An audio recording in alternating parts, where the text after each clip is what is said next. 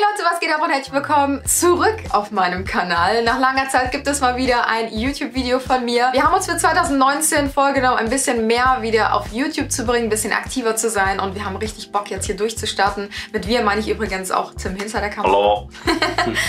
Ja, und wir haben uns auch ein bisschen professionalisiert, hier ein bisschen aufgestockt. Ihr werdet in Zukunft hier auf jeden Fall coole Videos erwarten können. Und wir starten heute hier ganz locker flockig mit einem Q&A, damit ich euch mal wieder ein bisschen auf den neuesten Stand bringen kann. Und ich würde sagen, wir fangen auch sofort an. Ich habe euch nämlich äh, per Instagram gefragt, ob ihr mir ein paar Fragen zuschicken könnt. Und hier sind schon einige zusammengekommen. Und ich scroll jetzt einfach mal durch und stoppe irgendwo. Und dann schauen wir mal, was so eure Fragen waren. Frage Nummer 1. Was wäre für dich ein Trennungsgrund. Ich glaube, bis ich mich trennen würde, müsste wirklich einiges passieren. Fremdgehen wäre für mich ein Trennungsgrund. Ein Trennungsgrund wäre aber auch, wenn man nur noch aneinander vorbeilebt und gar nicht mehr so richtig dieses Partnerschaftliche führt, wenn die Interessen zu weit auseinandergehen, wenn man sich nichts mehr zu erzählen hat nach 20 Jahren, auch das wäre ein Trennungsgrund für mich. Aber ansonsten, ja, bin ich glaube ich schon echt... Äh, Scheiße, gedacht. Das heißt also in 20 Jahren, war Idiot, ne? Keine Ahnung, dazu sagen? Ja, das wären eigentlich so meine Trennungsgründe. ja, oder? Was willst du denn sagen? Ja, ich sag doch nicht in 20 Jahren, du, ja, also wenn wir uns in 20 Jahren nennen, dann haben wir uns nichts mehr zu erzählen. Ja, aber also Idiot. Würdest du denn in der Beziehung noch weiter glücklich sein, wenn man sich schweigend gegenüber sitzt am Essenstisch und sich Ja, das, ja, nichts zu ja, ja, ja, aber das ist ja was anderes. Nein, das ist, wenn man sich nichts mehr zu erzählen. Aber wir werden uns bestimmt noch ganz viel zu erzählen. Ja, weiß ich. Was war das kurioseste Produkt, Projekt, was dir angeboten wurde, es vorzustellen? Sollte, glaube ich, die Frage heißen. Schwierige Frage. Also ich glaube, ich habe schon so viele unzählige Anfragen bekommen, die manchmal auch gar nicht bis an mich durchringen, weil die dann vom Management direkt äh, abgepfeffert werden. Aber eine Sache, das war wirklich ähm, sehr kurios. Ähm, da hatte ich mal eine Anfrage für so einen Zahn-Whitening-Stift. Ich lasse mir die Sachen grundsätzlich immer vorher zuschicken und teste die einige Wochen aus, um wirklich zu gucken, ob das Produkt was taugt oder nicht. Und ich habe diesen Whitening-Stift ausprobiert, mehrmals. Also ich glaube so achtmal hintereinander über den Tag hinweg verteilt. Und ähm, ich habe keinerlei Vorher-Nachher-Ergebnisse feststellen können. Und dieser Stift hat, glaube ich, 18 Euro oder so gekostet. Also der war richtig teuer. Die Kooperation habe ich dann natürlich abgelehnt. Aber das war so ungefähr der größte Fail, der mir bis jetzt widerfahren ist. Vielleicht fällt mir gleich noch was ein, aber ich glaube, das war's ja. Nächste Frage. Lieblingsurlaubsziel. Ich glaube, ich würde es jetzt einfach mal auf das Jahr jetzt beschränken, also auf 2019. Und wir haben ja vor, auf diese Schellen zu fliegen, unsere Flitterwochen endlich durchzuführen.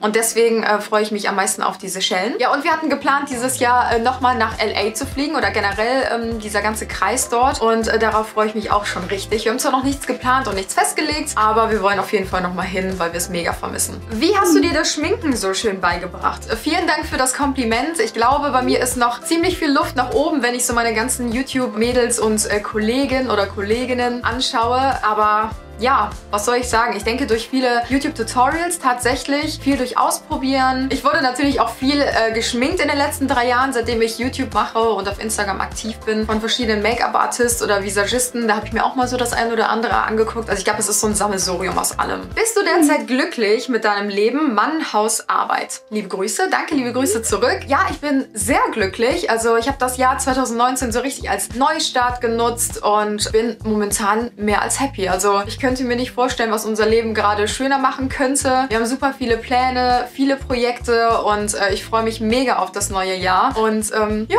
bin echt happy. Die liebe Stina hat gefragt, wie oft habt ihr Streit? Ich denke mal, damit äh, ist Tim gemeint, der hinter der Kamera sitzt. Also ich glaube, man kann es gar nicht so richtig zusammenfassen, weil wir wirklich sehr wenig streiten, wenn wir überhaupt streiten. Also wir diskutieren eher, würde ich sagen. Ähm, wir diskutieren ein paar Mal im Monat oder so, wenn es jetzt um irgendwas geht. Meistens wirklich, wenn es um die Arbeit geht. Oder Wäsche. Ja, oder Wäsche.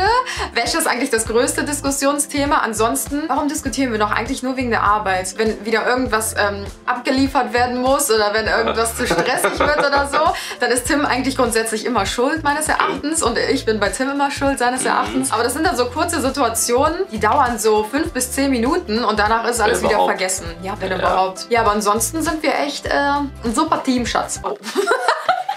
Voll vorbei, ey. Hast du Tipps für mehr Unabhängigkeit vom Partner? Das finde ich auch eine super spannende Frage. Ich hatte schon Beziehungen, wo man wirklich nur zusammengehangen hat, also wirklich nur zusammengeklebt hat. Auf Dauer funktioniert sowas meines Erachtens einfach nicht. Also Tim und ich arbeiten auch super viel zusammen. Ich glaube, das seht ihr auch immer in meinen Stories und so weiter oder jetzt auch hier. Aber ähm, wir haben es trotzdem geschafft, uns Freizeiten für uns selbst einzuteilen. Also ob es jetzt wirklich ist, abends mal mit den Freunden wegzugehen oder ich mache auch mal mit meinen Mädels ein Wochenende oder fahre mal mit denen weg für ein paar Tage oder auch wenn ich auf dem Job bin, dann sind wir mal getrennt. Und zwar ist es immer schöner, wenn man irgendwie zusammen ist, gerade wenn man so auf Reisen ist, aber letzten Endes freut man sich dann umso mehr, wenn man sich dann wieder sieht. Ich glaube, das muss echt so ein Zusammenspiel sein, so aus Dingen, die man zusammen unternimmt und Dinge, die man halt wirklich getrennt voneinander unternimmt. Und dass jeder auch noch so seinen eigenen Freundeskreis hat. Also klar verstehe ich mich auch mit Tims Freundeskreis und er sich auch mit meinen Mädels, aber ähm, trotzdem finde ich es eigentlich immer noch ganz gut, wenn jeder noch so ein bisschen sein eigenes Ding macht. Man ist ja trotzdem noch eine eigenständige Person und deswegen finde ich trotz, dass wir verheiratet sind, dann kann man auch noch mal was alleine machen. Ne? Ja, und, und nicht eifersüchtig sein. Ach so, ja, das sowieso nicht. Also, also mal ein bisschen, klar, kann man, kann man immer, aber, aber nicht so, dass es stört. Ja, ja, aber da sind wir ja auch komplett. Ja. Eigentlich kannst du dich direkt neben mich setzen hier. Das sind nur so Beziehungsfragen hier. Okay, ich schau mal weiter. Was würdest du tun, wenn Tim tätowiert nach Hause käme? also ich glaube, in der nächsten Zeit wird das nicht passieren. Ich weiß, dass Tim das mal angemerkt hatte, dass nur wenn wir irgendwann ein Kind kriegen sollten oder mehrere Kinder, dann würde er sich für die Kinder irgendwas tätowieren lassen, was ich auch ganz schön fände. Aber ansonsten mag ich ihn auch so, wie er so ist. Aber wie würde ich reagieren? Ich glaube, ich wäre erstmal komplett geschockt und würde denken, dass du mich verarschen würdest. Dass das irgendwie so ein Aufklebetattoo ist, wird erst einfach versuchen abzukratzen. Aber letzten Endes ist es ja auch dein Körper und äh, du musst dich wohlfühlen damit. Und wenn du das schön findest, werde ich mich halt auch dran gewöhnen. Lässt Tim wie 90% der Männer auch überall seine Socken rumfliegen, anstatt sie direkt.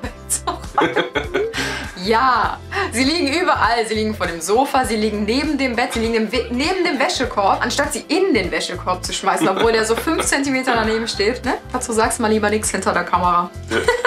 Was ist das Schlimmste, was du deinen Freunden angetan hast oder sie dir? Ich versuche mal bei mir selbst anzufangen. Natürlich ist kein Mensch perfekt und jeder macht Fehler. Ich überlege jetzt gerade, ob es wirklich mal so war, dass ich einer Freundin oder einem Freund so richtig was Schlimmes angetan hat, so dass wir danach nie wieder Kontakt hatten. Also alle, die mich kennen, wissen, ich bin eine super friedenswillige Person und ähm, wenn mal ein Streit vorkommt oder eine Unstimmigkeit, dass ich da drüber hinwegschaue. Also bei mir muss wirklich schon was richtig krasses passieren, dass ich sage, ich kann diese Freundschaft nicht mehr weiterführen, weil wenn ich jetzt mal so meine Freundschaften anschaue, ich bin halt immer noch mit allen meinen Mädels befreundet, mit denen ich auch früher zur Schule gegangen bin. Oder also ich habe wirklich keine Freundschaft, die jetzt irgendwie erst so seit ein paar Monaten besteht, sondern halt wirklich, das sind die meisten Freundschaften sind halt wirklich schon so seit Jahren einfach da. Und ich glaube, das spricht auch so für sich. Was mir angetan wurde in der Freundschaft, ich glaube, das kennen einfach super viele, dass man einfach belogen wird, dass ähm, Leute einem etwas nicht gönnen, dass vielleicht manche Leute neidisch sind.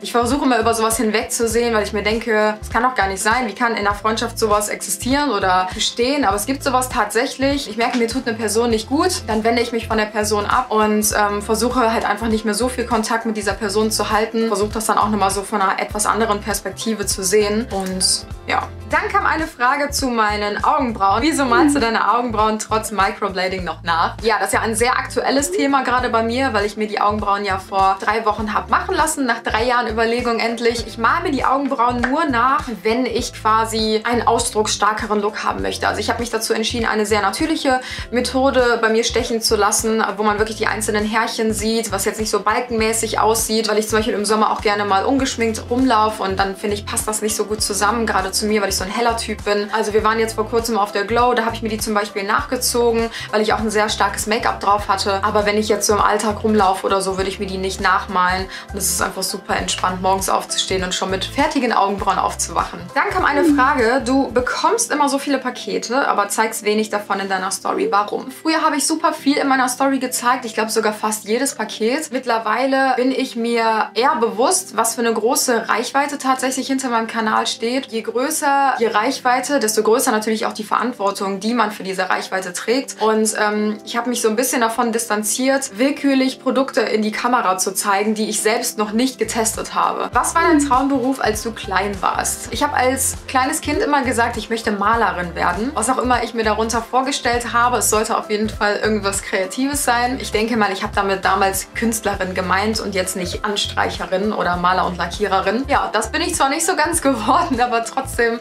ist es ja was Kreatives geworden. Das war mein Q&A als äh, Einstieg wieder in mein YouTube Flow, um ein bisschen wieder reinzukommen. Ich hoffe wie immer, dass euch das Video gefallen hat. Falls ihr noch eine Frage habt, die nicht beantwortet wurde, könnt ihr das gerne in die Kommentare schreiben. Dann bin ich dort auch noch aktiv für euch. Ich wünsche euch jetzt einen wunderschönen Tag, Abend, whatever und wir sehen uns im nächsten Video.